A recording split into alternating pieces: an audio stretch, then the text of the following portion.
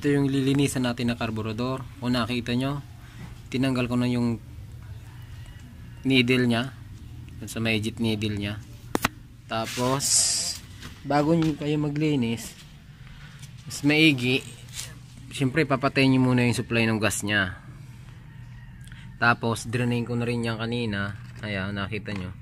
Yung laman ng carburetor, tinanggal ko, nyo, tinanggal ko na muna. So, ipaprocess na natin. Siyempre, tanggalin muna natin yung tanggalin muna natin yung carburetor. Dito tayo mag-umpisa. Dito tayo. Gis pala. Kailangan ng gis. Ah, gis. Ang load na yan.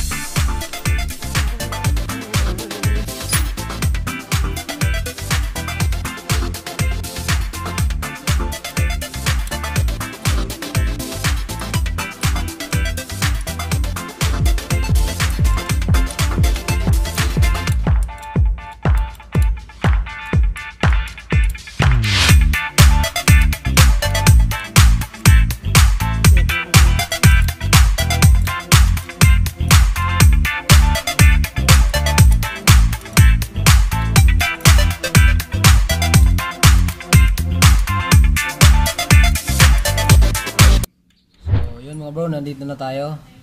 No, kung nakita nyo, napakadumi masyado. So, ngayon, tatanggalin muna natin tong mga tornilyo. So, ito ang tornilyo nito. Dalawa lang.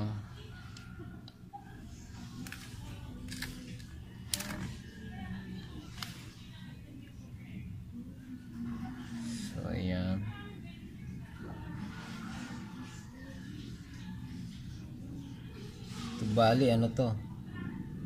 Nasa 4 months kung hindi nalinisan. So, kaya naman to dumumi. Gawa nung naka-open curve kasi ako. Wala akong air curtail kaya mabilis dumumi.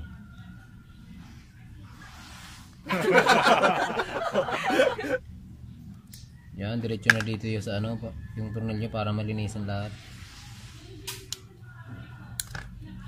Yung ibang carb, apat yung tornilyo niya. Tingnan nyo na lang sa akin. Dalawa lang to eh.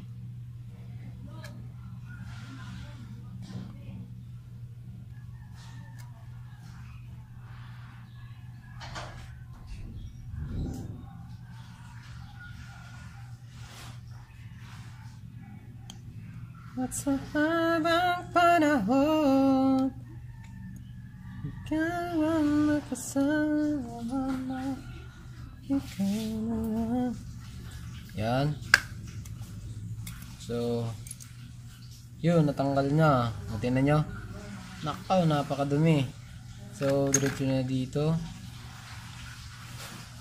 So, itong plotter niya Ang lock niyan makikita nyo, may pin yan sa gilid dito.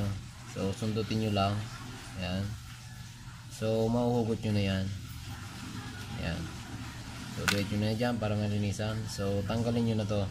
So, meron tong valve. Nakikita nyo. So, ito yung valve nya. Oh. Madilim nga lang. Nako, ang pangit. So yun mga bro Kung nakikita nyo na-dismantle ko na So bala ang pinalilis ko dito Yung drain kong gasolina Tapos dinagdagan ko na lang kanina Tsaka sa paglilinis Gumagamit lang ako ng Toothbrush. So sa paglilinis Linisan nyo lang siya. Hanggang sa malinis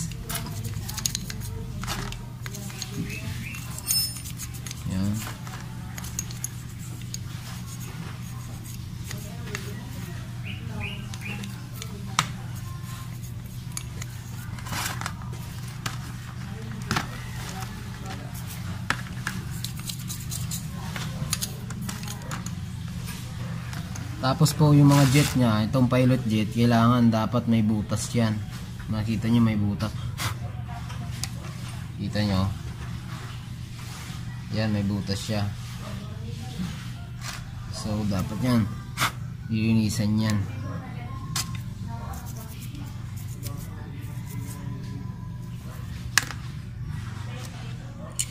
Pati yung pilot jet. Pwede nyo linisan yung pilot jet.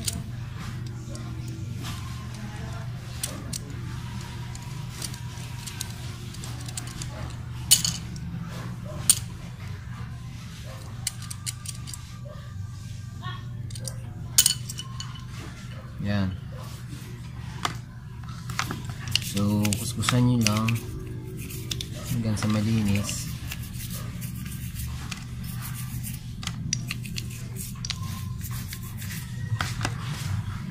At sa hangin Ikaw ang nakasama Ikaw ang siyang tula Yan, linisan nyo eh. Ha? Galing. Lahat yan. Sa plato. Ito yung nakapit. Lahat mga, di ba papalitan mo lahat mo? Tanggalin mo na lahat. Saan ka nakapit? Paano ka tanggalin? Ha? Paano mo tanggalin? ako. Ila, tanggalin mo na lahat. Ibu bubunot lang naman yan eh. Ha? Ibubunot lang naman yan eh. Ayan na, tanggal mo na. Ayun. Tanggal yan. Imposibleng hindi yan.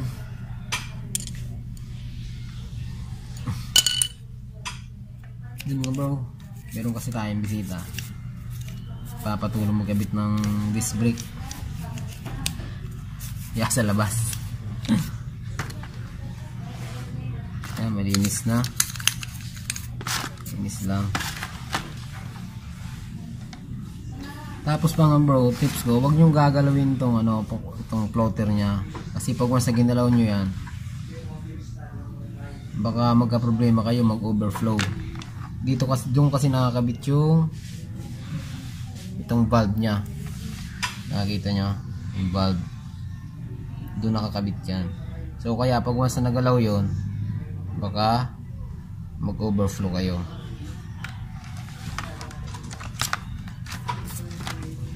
Hirap naman ito. So, yun mga bro, ito na. So, malinis na. So, sa pagbabalik, madali lang. Una, ikabit nyo yung pilot jet. Yan. Sunod yung main jet. Ayun lang. Tapos, higpit na natin. Ngayon, sa paghihigpit, ulog na. Paghigpit, hindi siya pwedeng yung tamang-tama lang, hindi siya yung mahigpit na mahigpit. Yan, ganyan.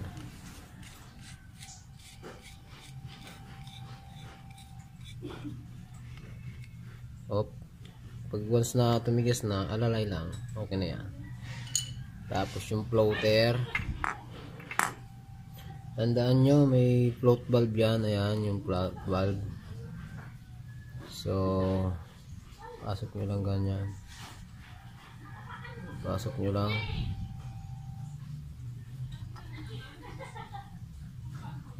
Ayan. Pasok nyo lang sa butas. Ayan. Nako. Yung pin. Kalimutan ko. Dahil lang. Ang suray-suray.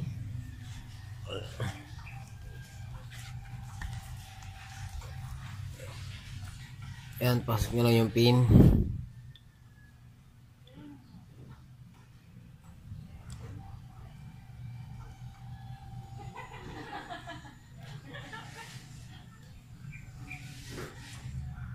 So, yung ganun lang.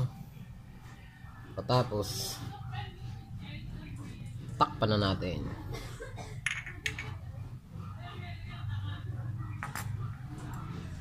Oops. Mayroong ano yan, gasket. Huwag nyo kakalimutan kasi tatagas yung gasolina nyo pag mas na. Kalimutan nyo. Was a motor, motor, Mm-hmm.